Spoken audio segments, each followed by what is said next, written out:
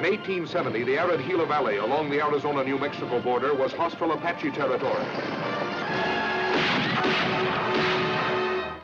Tomorrow morning, we can expect a few hundred of them out there. An hour later, they'll be coming through the door. Here on that savage frontier took place one of the strangest incidents of the West. The discovery of five nameless desert graves and a man's pursuit of a mystery more dangerous than death.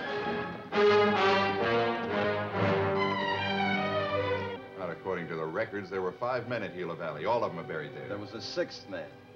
Starring Richard Widmark, relentless as never before. Donna Reed, gambling with love as no woman ever did. I want that gold, but you've learned things that I don't know. Well, uh, what do you got to uh, offer in return? Co-starring William Campbell and John McIntire in the gripping drama of the mission that turned one man into a living target. Slater.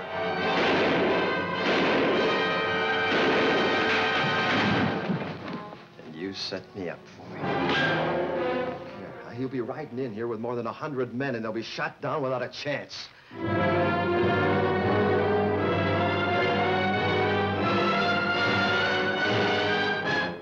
Glad you're not trying to turn him against me. And if I did? You'd be sending him to his death.